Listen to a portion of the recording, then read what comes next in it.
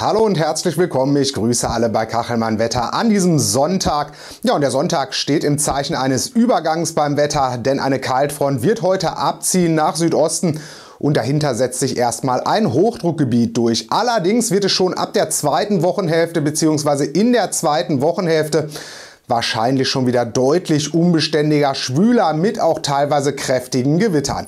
Also man sieht schon, viel Bewegung ist im Wetter drin und war auch drin in den vergangenen 24 Stunden. Wenn wir uns mal die Niederschlagsmenge anschauen mit dieser Art Luftmassengrenze, wellendem Frontensystem, sind vor allem so in einem breiten Gürtel von Südwesten, teilweise aber auch in den Norden und bis in den Nordosten doch große Niederschlagsmengen zusammengekommen. Ordentlich Regen ist hier wieder runtergekommen. Hier war es ja gestern teilweise auch richtig verregnet. Und in der Nacht, man sieht gestern Abend und in der Nacht auch so Niedersachsen, teilweise sogar bis in den Raum Hannover, punktuell sogar mal über 50 Liter Regen pro Quadratmeter. Das gilt auch in so einem Streifen von Sachsen-Anhalt bis so nach Brandenburg und in den Berliner Raum rein. Also auch Berlin wieder ordentlich gegossen worden. Und wenn wir uns jetzt mal anschauen, das aktuelle Satellitenbild, sehen wir, wie die Kaltfront jetzt allmählich abzieht. Das heißt, sie überquert jetzt noch in den nächsten Stunden bis zum Mittag so etwa den äußersten Südosten Deutschlands, legt sich dann allerdings an die Alpen und es folgt so im Norden und Osten Deutschlands nochmal so ein kleiner Trog hinterher mit Höhenkaltluft. Das heißt, hier wird es noch einzelne Schauer geben. Das bedeutet eben, dass heute Nachmittag sich die Kaltfront an die Alpen legt, wo es eben doch noch viele Wolken gibt. Die Niederschläge lassen aber auch hier peu à peu nach und es bilden sich noch mal neue Schauer, so vor allem im norddeutschen Tiefland bis in den Osten. Örtlich sind auch noch mal kurze Gewitter dabei. Und hier wird es auch sehr windig mit dem Schauerwetter. Durchaus mal in Schauern starke Böen um 50 Kilometer pro Stunde, die dabei sind. Sonst relativ freundlich, immer freundlicher. Auch die letzten Hoch Hochnebelfelder im Westen werden sich heute relativ schnell auflösen. Es wird dann relativ angenehm warm, relativ sage ich jetzt schon wieder. Es wird angenehm warm werden. Am wärmsten wird es vor allem weiterhin im Süden Deutschlands bleiben. Ja, wie sieht es aus in der kommenden Nacht? Das Hochdruckgebiet setzt sich durch. Es wird verbreitet auflockern. Häufig ist es sternenklar oder gering bewölkt. Auch die letzten Wolken nach Osten und Süden werden immer weniger werden. Ja, und es kühlt sich dann relativ gut ab. Verbreitet schläft der Wind ein, klarer Himmel. Es ist frischere Luft dann eingeflossen. Das heißt vor allem so auch in der norddeutschen Tiefebene mal einstellige Tiefstwerte, aber auch im Mittelgebirgsraum oder auch so in Alpentälern bzw. Mittelgebirgstälern. Ja, der Montag wird sich dann so gestalten, dass wir erstmal dann ja belohnt werden mit viel, viel Sonnenschein aus dieser klaren und kühlen Nacht und tagsüber jetzt klar um die Jahreszeit. Es ist jetzt im Grunde die Zeit, wo uns die wärmsten Luftmassen erreichen können. Da geht es mit der Sonne dann kräftig rauf bei den Temperaturen nach dem kühlen Morgen. Viel Sonnenschein, so in der Nordhälfte und im Osten ziehen mal ein paar lockere Schleierwolken durch. Es bilden sich noch mal ein paar kleine Quellwolken. Es bleibt verbreitet trocken und vor allem nach Süden und nach Westen hin gibt es wohl einen komplett sonnigen Tag. Die Temperaturen reichen dann schon bis um die 30 Grad im äußersten Südwesten, so vor allem am Oberrhein und und ja auch vielleicht so schon knapp an der Saar. Und dann geht es eben ja ein bisschen weiter mit den Temperaturen runter, je weiter man nach Nordosten kommt. Und so an den Küsten liegen die Temperaturen um die 20 Grad meistens. Auch der Dienstag gestaltet sich noch unter Hochdruckeinfluss richtig sommerlich. Die Luftmassen, die wärmeren, kommen schrittweise weiter nach Norden und Nordosten voran. Es wird allerdings eine Spanne erhalten bleiben. Das heißt, wir haben am Dienstag wohl einen verbreitet sonnigen Tag. Wie ich gestern schon sagte, so ein einzelnes Hitzegewitter über dem Südschwarzwald oder mal in den Alpen. Am ehesten wohl Südschwarzwald ist nicht ausgeschlossen, aber ansonsten bleibt es verbreitet trocken und die Luftmassen werden immer wärmer. Das heißt, wir erreichen wohl durchaus im äußersten äußersten Südwesten, vor allem so am südlichen Oberrhein, wohl schon knapp bis an die 35 Grad, vielleicht auch so am Kaiserstuhl. Und dann wird die Spanne weiterhin reichen mit unter 20 Grad, teilweise noch an den Küsten, vor allem mit Seewind. Aber es wird einfach ein verbreitet richtig sonniger bzw. gering bewölkter Sommertag werden.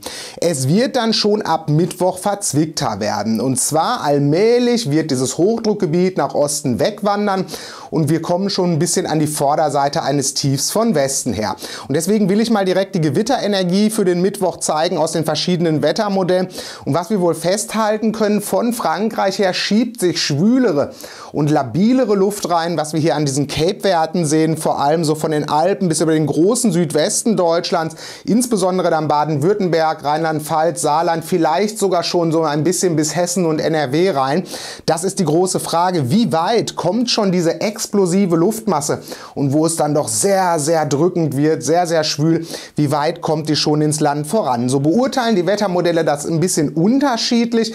Das europäische Wettermodell hat mal über den Bergen im Südwesten und Süden einzelne Wärme- bzw. Hitzegewitter tagsüber und hat dann abends, wie wir hier im signifikanten Wetter sehen, von Frankreich und Belgien doch stärkere Gewitter, die dann so den äußersten Westen erreichen können. Das heißt, hier würde dann eben doch mehr Bewegung, mehr Dynamik reinkommen, dass auch größere Gewittercluster durchaus möglich sind.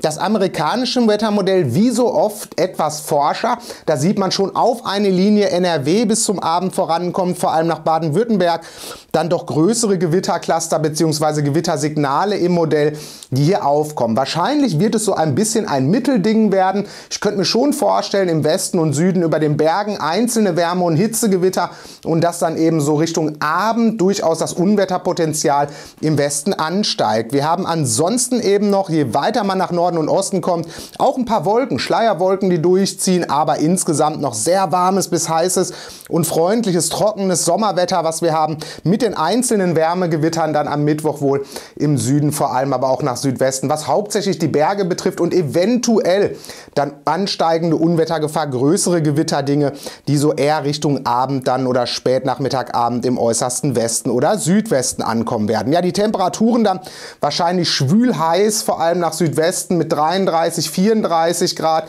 vielleicht sogar 35 Grad irgendwo. Ja, und deutlich angenehmer und vor allem auch trockener ist die Luft, je weiter man nach Nordosten kommt. Dann der Donnerstag, man ahnte schon, natürlich wird es auch da verzwickt werden, weil im Grunde ja der Mittwoch schon so ein bisschen die Entscheidung ist, wie schnell kommt das Gewitter tief rein. Wenn wir uns mal die Höhenwetterkarte so aus zwei verschiedenen Wettermodellen anschauen, sehen wir schon klar jetzt so nach dem US-Wettermodell und nach dem ECMWF, zum einen, dass der Keil zwar kippt, diese Hochdruckkeil, und wir gelangen eher so ein bisschen in eine zonalere Wetterlage. Das heißt so ein bisschen, ja, schon eine südwestliche bis ein bisschen westliche Strömung. Und wie uns da genau die Tröge, die Randtiefs überqueren, das ist doch ziemlich unsicher bzw. wird unterschiedlich gesehen. Man kann allerdings festhalten, dass uns wohl insgesamt unbeständigeres Wetter peu à peu dann vor allem ab Donnerstag erreichen wird. Und wenn wir dann mal weiterschauen, sind die Wettermodelle für den Folgesamstag dann, also jetzt gestern in einer Woche, sind die Wettermodelle doch relativ einheitlich, dass wir auch weiterhin eher in einer Südwestwetterlage, sprich in einer südwestlichen Höhenströmung liegen, an der Vorderseite eines kräftigen Atlantiktiefs, das heißt auf dem Atlantik das starke Tiefdruckgebiet. Ja, und das würde bedeuten, dass es insgesamt nicht mehr so heiß ist, aber eher schwül warm und immer wieder auch mal Schauergewitter ein Thema werden. Also das heißt eher unbeständiges, aber auch kein richtig kühles kühles Wetter.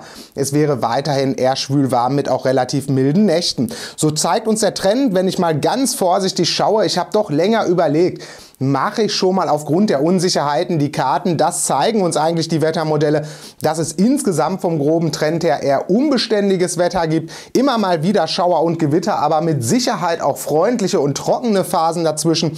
Und dass wir immerhin die Luftmasse gibt weiterhin immer wieder 25 Grad und mehr her.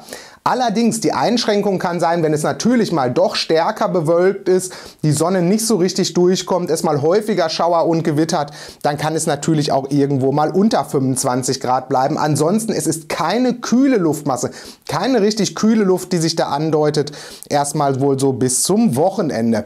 Ja, und natürlich habe ich auch noch mal ein paar Trendkarten mitgebracht. Wenn wir uns da mal das Mittel aus dem europäischen und aus dem amerikanischen Wettermodell anschauen, zeigen uns beide eigentlich so mittelfristig bis in den August hinein, 5. bis 10. August, ein relativ einheitliches Bild. Es zeichnet sich weiterhin relativ klar ein kräftiges Tiefdruckgebiet auf dem Nordatlantik ab, so Richtung Island, britische Inseln. Ja, und wir würden eben eher an der Vorderseite dieses Tiefs liegen. Das heißt, insgesamt wären das relativ warme Luftmassen mit dem Potenzial Potenzial auch immer mal wieder für Heißluft, insbesondere im Süden und Osten bzw. in der Südosthälfte, während man im Westen und Nordwesten natürlich näher an diesem Tief liegt und es hier vielleicht nicht ganz so warm oder heiß wird. Und man darf sich diese Situation, das ist ja ein Mittel für fünf Tage, auch nicht statisch vorstellen. Das heißt, insgesamt wäre es von der Wetterlage wechselhaft geprägt. Dass immer mal wieder wärmere Luftmassen, heiße Luftmassen, dann aber eben auch mal wieder etwas kühlere vom Atlantik kommen und dass es eben eher unbeständig wäre. Am ehesten dürfte es stabiler bleiben mit der Nähe zum Hoch noch vor allem so ja nach Süden und nach Osten hin zwischenzeitlich. Das zeigen uns eigentlich ganz klar die, die beiden Trendkarten und ich will dazu mal zeigen, was das ECMWF jetzt in seiner Glaskugel hinten raus mal heute im Hauptlauf berechnet. Das wäre eben die Wetterlage, dass das Tief doch relativ weit westlich wäre und sich auch mal eingraben würde, weiter nach Süden. Und das würde eben auch bedeuten, dass wir dann in eine markantere Vorderseite kommen und uns schnell auch wieder heiße Luftmassen aus Süden erreichen können. Die große Frage ist natürlich, wie weit bleibt das Tiefdruckgebiet auf dem Atlantik oder schwenkt es doch mal nach Skandinavien durch und bringt uns eben auch mal etwas kühlere Luftmassen vom Atlantik. Also man sieht schon, so richtig stabil wird die Wetterlage wohl nicht werden. Eher unbeständig, eher Südwestwetterlagen geprägt. Das wäre eben auch insgesamt immer wieder warm, auch mit dem Potenzial, dass uns zwischenzeitlich mal heiße Luftmassen erreichen, aber Gewitterlagen. Das wird wohl wahrscheinlich auch weiterhin ein Thema bleiben. Also kein beständiges Hoch, was sich jetzt über Mitteleuropa legt. Das soll es für heute auch erstmal gewesen sein. Allen einen schönen Sonntag. Bis dann und ciao.